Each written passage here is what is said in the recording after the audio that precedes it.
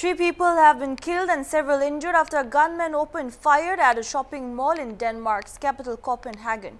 The incident occurred on Sunday when the suspect entered the large Fields shopping mall located between Copenhagen airport and the city center with a massive rifle. The suspected shooter, who was described as an ethnic Dane, 22 years old, has been arrested and will face questioning by a judge on Monday, the police said. The suspect had a rifle and ammunition when he was arrested, police said.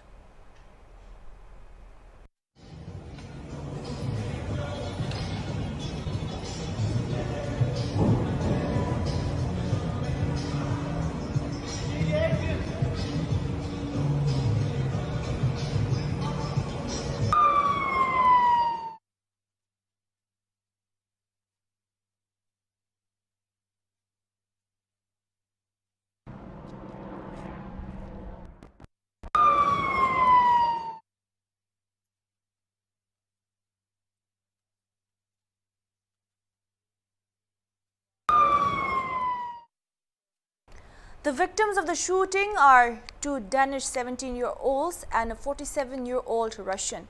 Among the injured, three are said to be in a critical condition, reports said. Danish police said the suspected shooter, 22, had mental health issues and there is no indication of a terror motive. It is also known among psychiatric services. Beyond that, I do not wish to comment. Copenhagen Police Chief Soren Thomsen told a press conference. He added that the victims appeared to have been randomly targeted and there was nothing to indicate it was an act of terror. Our assessment is that the victims were random, that it is not motivated by gender or something else, he said. The police chief could not yet comment on a motive, but said there seemed to have been a preparation ahead of attack and that the 22-year-old suspect was not aided by anyone. As things stand, it seems he was acting alone, he said. The police so far have no indication that other attackers were involved and urged shop owners to preserve any video surveillance footage they might have.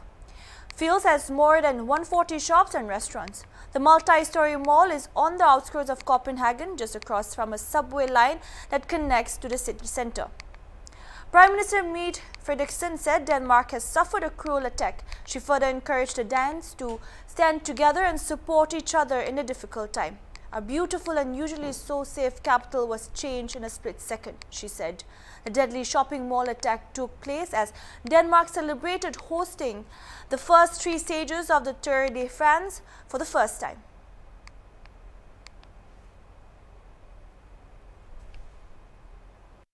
Eyewitnesses said that there was panic among shoppers as gunfire rang out. One of them, named Isabel, told Danish media.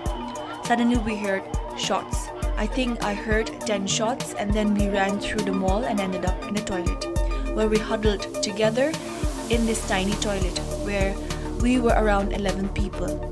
It's really hot and we wait and we are really scared. It's been a terrible experience, she said. A concert by British singer Harry Styles at a venue less than a mile from the scene was cancelled. Crowds had already gathered inside the venue when the show's cancellation was announced. Fans, many in their teens, were escorted by police to underground stations where parents picked them up, reported Danish media. Taking it to Twitter and Snapchat, Styles said, My team and I pray for everyone involved in the Copenhagen shopping mall shooting. I'm shocked, laugh Edge. Hans Christian Stolz, a 53-year-old Swede who came to pick up his children, said, My daughters were supposed to see Harry Styles. They called me to say someone was shooting. They were in a restaurant when it happened. We thought at first people were running because they had seen Harry Styles.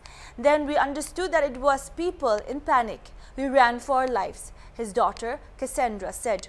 Shortly after the shooting, the Danish royal family announced that a reception due to be hosted by Crown Prince Frederik to celebrate hosting the Tour de France's first three stages had been cancelled. Several neighboring leaders expressed horror at the shooting and offered condolences to the families of those impacted.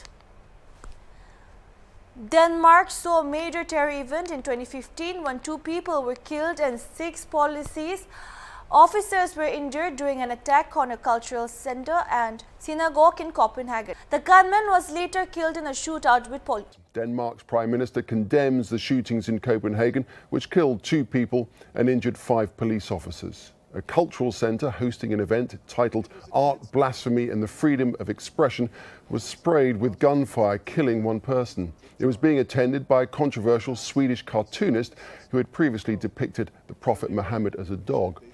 Shortly afterwards, a member of Copenhagen's Jewish community was shot dead outside a synagogue.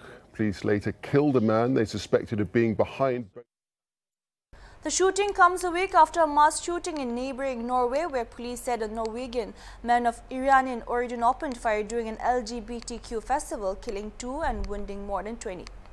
Horror in Oslo, Norway over the weekend. People just out enjoying Pride Weekend were gunned down in what Norwegian officials call an extreme Islamist terrorist attack. Authorities say two people, a man in his 50s and one in his 60s, were killed in the attack that also left at least 21 people injured, 10 seriously. It happened across three locations, including the popular London pub, a widely known gay bar that has been there since the late 70s. Norwegian authorities say they arrested the suspect, a 42 year old Norwegian citizen of Iranian descent. You should also be kept in mind is that the country has some of the strictest gun laws in Europe, which license to own firearms usually only available for hunting or sports shooting, following background checks and with an almost total ban on automatic weapons. Carrying a firearm in public is strictly prohibited.